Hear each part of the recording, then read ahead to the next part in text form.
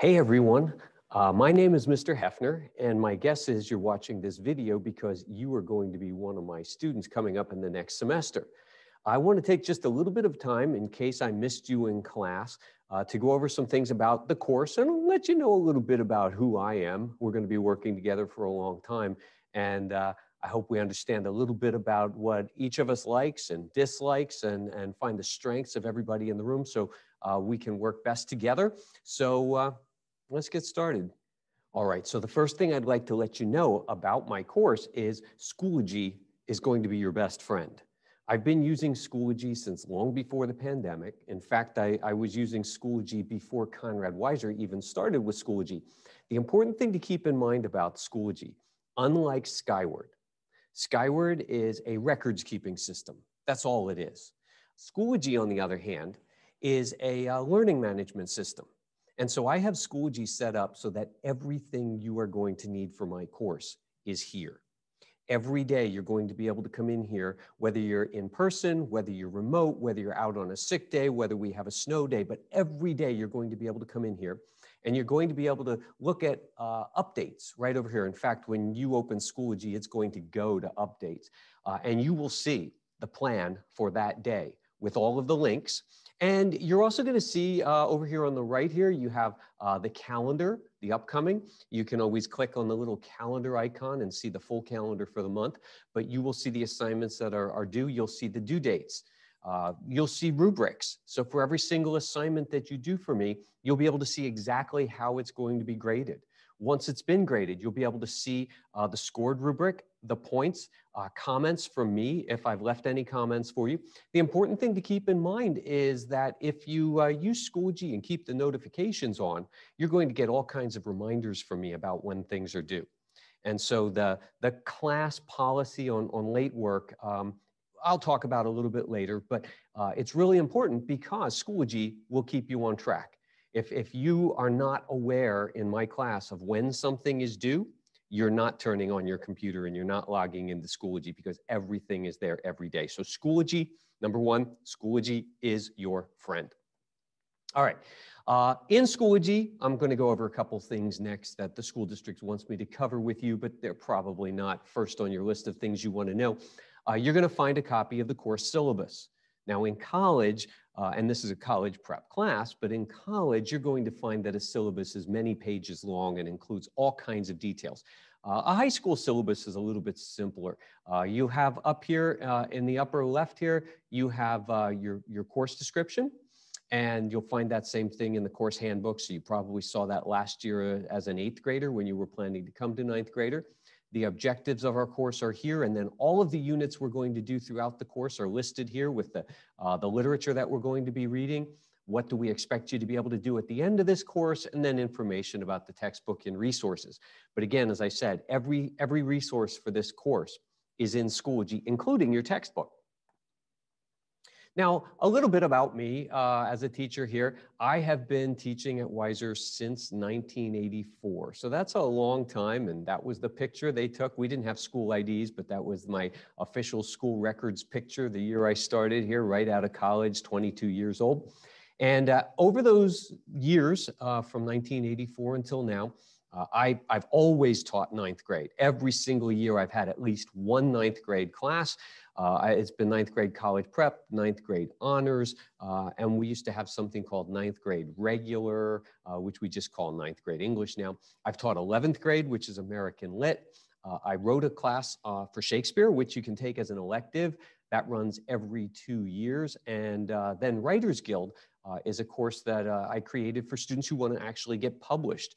And you work with other student writers and you submit things to contests, and by the end of, uh, of the course, uh, the class always publishes a book. So on your screen, uh, you see three of the anthologies uh, from previous years. Uh, another thing about me is, is a graduate of Penn State. I got my Bachelor of Science degree in secondary education. So uh, I'm a Nittany Lion fan and I bleed blue which is great because I get to use the same colors here at Weiser. I got my master's degree uh, at Wilkes University, and I've taken other courses at various places over, over the years.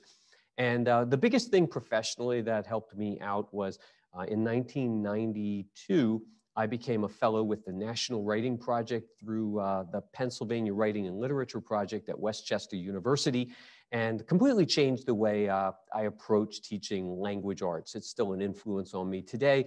And for a while, uh, I even served as a, a co-director for technology uh, with that organization. Things that I like to do when I'm not in school, uh, I, I, love traveling. I love, you know, I, am not somebody who wants to go to four-star hotels throughout Europe. Uh, I like camping. I like hiking. I like taking my bike out on, on trails and things like that. Maine is one of my favorite places to go. Uh, I'm a Civil War buff. As I said, I, I, am a Nittany Lions fan, and uh, I love going to at least one game a year, but I, I, catch them all on TV. And I love music, all kinds of music. Uh, some of my favorite bands, you know, are here on the screen, but I don't listen to just rock music. I like progressive rock. I like classic rock.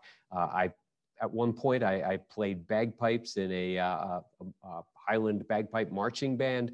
Uh, I play banjo. I love bluegrass music right now. And uh, so music is really important. There's no question. Uh, I, I saw a quote once that said something like, life without music is a mistake. And I, I think there's some truth. And I owe an awful lot to the people who make music. Uh, even though I never get to meet them, they're a big part of my life. And like I said, um, I've, I've play five string banjo. I'm still learning. Uh, you know, at, at, my age, you know, uh, this, this, doesn't come easily, but uh, it's something that I do for fun. And I, I guess we would say that's my hobby. Uh, and then I do genealogy work. I, I, you've seen those commercials on TV for Ancestry.com. I started doing genealogy work, trying to uh, learn the history of my family when I was uh, just about 16 years old. And I did it the old fashioned way with books and documents and records halls and things. And now I do have access to Ancestry, but uh, every summer I spend some time trying to find out a little bit more about the history of my family. When it comes to uh, entertainment, I don't watch a whole lot of television. I don't go to the movies a whole lot, but I, I, do like fantasy type things. I like adventures, like Marvel Comics movies. I'm a huge Doctor Who fan. And, you know, from a, a comedy standpoint, this show called Ted Lasso, uh, you know, in the, the months leading up to my making of this presentation, uh, this was an Apple TV Plus original. I think it, I think it became my favorite comedy series ever. Uh, season one was out at the time I was making this video, and I know that they've already signed for two more seasons, so I'm looking forward to those coming along soon. Uh, at home, I have, uh, these, these are my guys right now. Uh, there's Watson. He was the first one I brought in. Watson thinks he's really a human. He acts like a dog, but he thinks he's a human, definitely not a cat. Uh, and Minerva is uh, not his sister, but we call her his sister. Uh, she was a rescue as well. And then Loki is, is my silver and, and white cat. He's an interesting story. Uh, I got him from a cat rescue, but he was actually rescued off the streets of Kuwait and uh, some nice person, nice rescuer over there, bought him a ticket and flew him on a plane from Kuwait to Dulles, uh, Dulles Airport near Washington, D.C., where he was picked up by a local cat rescue, and, and then I adopted him out. So uh, he's come a long way to be my cat. Now, a couple kind of like standard procedure type things. You have the, uh, the school student handbook. It is uh, preloaded into every laptop, so uh, I'm not going to go over everything. Hopefully you took a look at that at, at some point. Uh, just a couple things. Teachers are obligated to uh, take attendance and, and mark tardiness, so make sure you come to class on time. I, I don't have the liberty of just letting you into class late.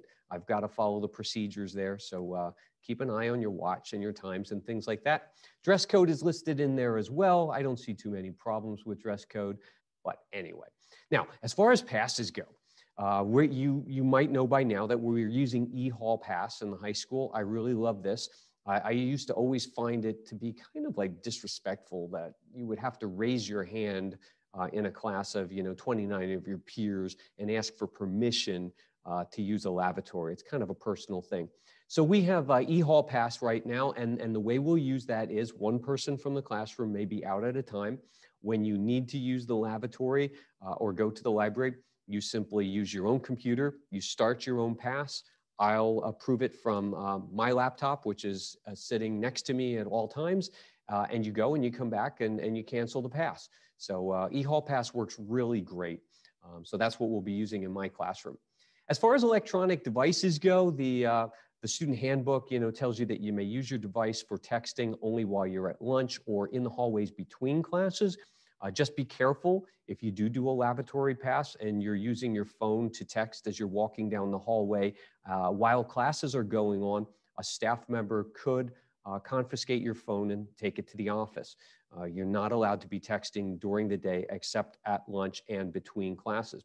Now that said, I do not have a problem if you're going to use uh, use your phone uh, for research. We often have our computers out and we multitask using a, a second device to look up facts or verify things.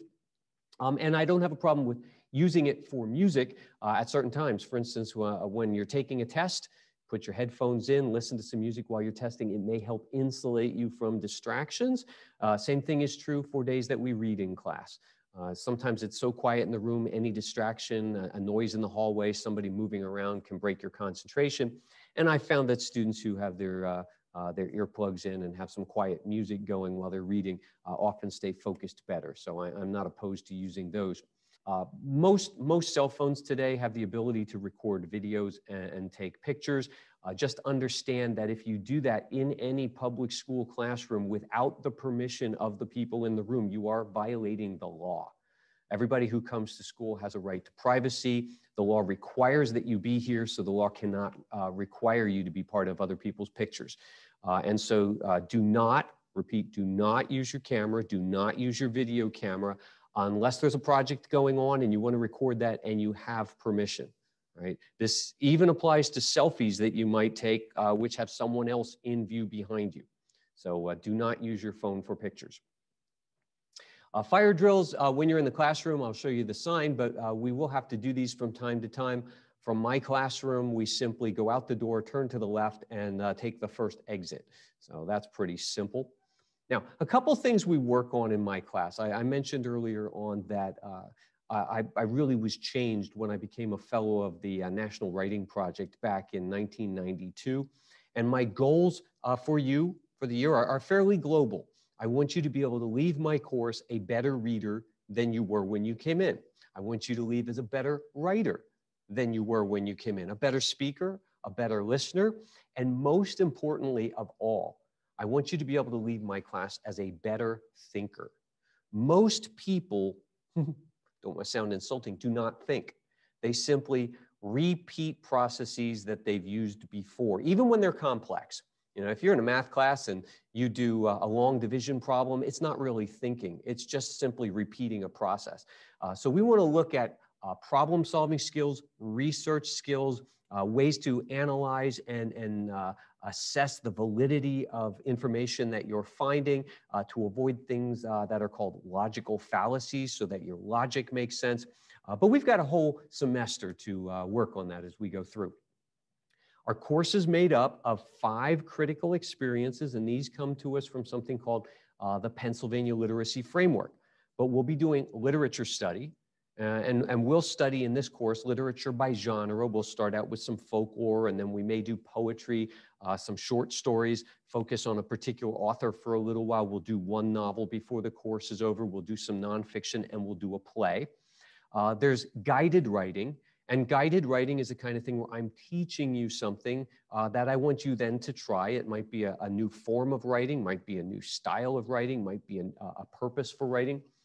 And then there's what's called independent reading and writing. And independent reading and writing is when you find your own audience. You get started on a, a task or something like that.